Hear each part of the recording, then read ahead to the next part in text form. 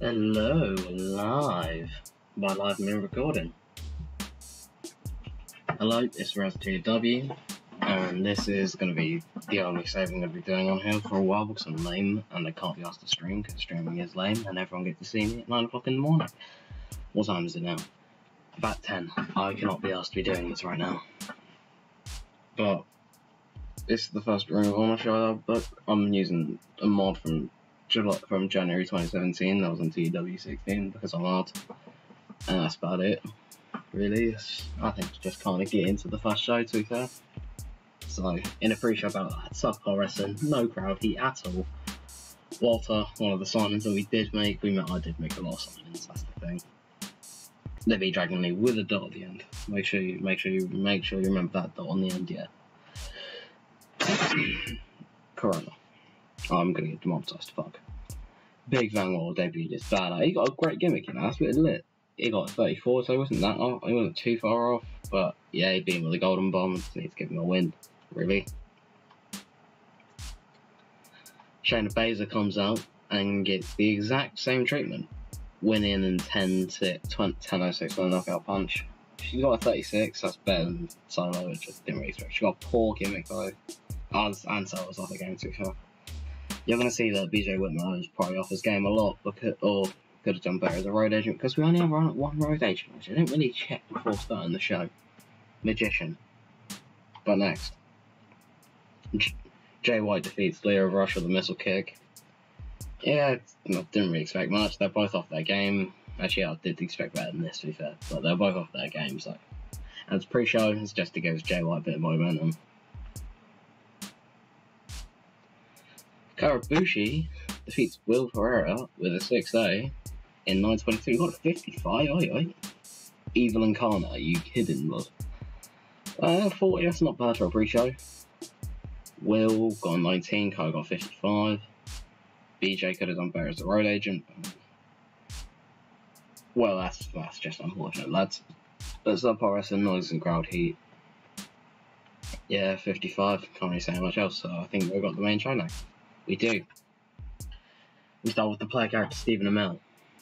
Yes, Stephen Amell. I'll just literally use character so fuck it. Stephen Amell is. Wait, what was it from the show? Hello everyone, it's my new vision and project. Ring of Honor I was in some financial trouble, so I decided to step in and here we are. This will be your same Ring of Honor, but this time with some Moxie. I had no other words. And I felt we need to divest after the wrestling mode, so I've had to retire the tag team belts and we'll focus on the trios, the multi-man competition. Yeah, I'll just if we've got trios, I don't really think we need to have tag belts. And I know it's gonna be controversial, but who cares? Trios are more interesting, and I like loves up a good faction. We'll see our chat, and we'll see our trio champions, the Kingdom, defend the titles next. In the main event, we'll see Adam Cole, the former Ring of champion, who starts as rematch, course, for Kyle O'Reilly he'll be taking on Bobby Fish in the main event. As he's going to have to face against his Redragon Palmer, Kyle O'Reilly, at the next pay per view, which I think is the anniversary show in six weeks. Don't know.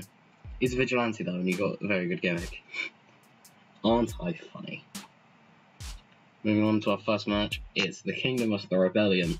And obviously, the Kingdom win. We're not going to make them drop the titles as soon as they've got them. As much as I don't think the Kingdom are the best fit. I need to wait for some signings to come in so that there is there's actually teams that can go up against them because I feel like apart from Bullet Club, there's nobody else who we can really rely on to put good for just decent, solid trios matches. And I don't really want to be just give the Bullet give the Bullet Club a fucking 60 for a year long reign.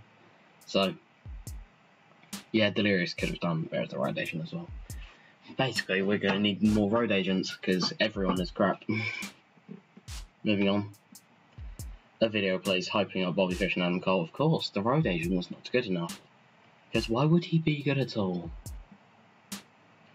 And then the Young Bucks challenge Redragon for a match next week, and that says they just challenged them for a match, but no, they're challenging them for a match next week. This obviously launches the World Title storyline. I'm gonna just book that in right now, boys.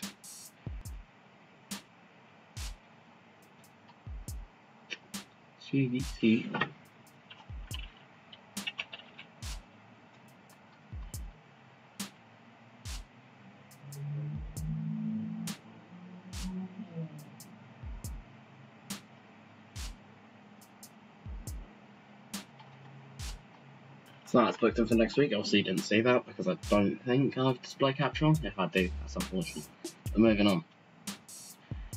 Into Marty Scurll's first defense of his Ring of Honor World, World Television title, Maxwell Jacob Feinstein comes out.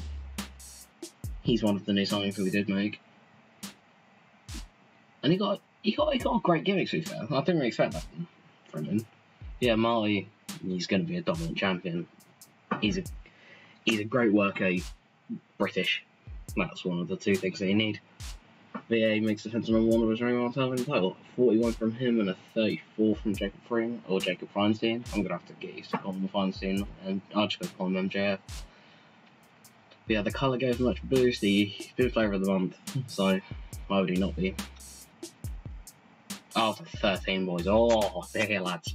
Marty Scurll was celebrating, and he stopped. He's just attacked Feinstein to the ground. Oh, delirious, delirious, delirious, delirious. Didn't expect to get 43 to be fair. That's that's pretty big. The decent wrestling but little heat Candice defeated ODB with the moonsault press. Candice obviously great work we've gone over this. And Delirious could have done a better job as road agent again. Who would have guessed? Yeah, 46 from Candice and 48 from ODB. There's a. Oh, alright. I'll announce it. I'll announce the next episode, but there's something we're doing something big for this for the women's division. So this will meet. This will make more sense next week. Next week. Dun dun. Adam Cole's getting ready backstage as his match is up next again. Well, can you guess the red? It's the road agent being terrible again the road agent being terrible again. Who would have guessed? Six, a 35 second rating. I'm hoping, hoping this event can save it. It's a 50. Adam Cole defeats Bobby, Bobby Fish in 20, 23, 27 on a flying crossbody. Adam Cole get a 55, Bobby Fish with a 47. Obviously, it's just to get the for a bit more momentum, even if there's nothing about it. And that will close the show. What do we have? We got 45, Christopher Fan, 16 regions. I wish you could see our broadcast video. Our broadcasting is a bit bad. We've not really got a lot of broadcasting for us.